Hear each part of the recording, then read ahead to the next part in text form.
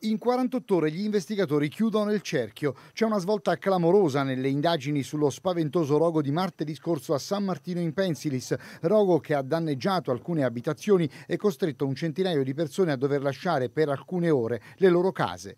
I militari hanno subito sentito decine di persone e analizzato filmati di telecamere pubbliche e private. Gli accertamenti si sono poi orientati anche sui video postati sui social dagli abitanti del paese. Proprio questi ultimi sono sono risultati fondamentali per far prendere alle indagini la piega giusta. Il rogo è stato doloso. Nelle immagini analizzate in ogni dettaglio e ingrandite sono state trovate le sagome di due persone intente ad accendere le fiamme nelle campagne di San Martino. Sull'identità dei piromani i militari mantengono ora il più stretto riservo, ma le due persone sono state già identificate e denunciate alla Procura della Repubblica di Larino con il contestuale avvio di un procedimento penale a loro carico. A breve saranno saranno interrogate, dovranno spiegare le ragioni del gesto e rendere conto alla giustizia. Intanto le indagini vanno avanti per capire se altre persone possono aver avuto comportamenti simili nelle ore del rogo che ha causato danni ingenti alle coltivazioni e alle abitazioni del paese.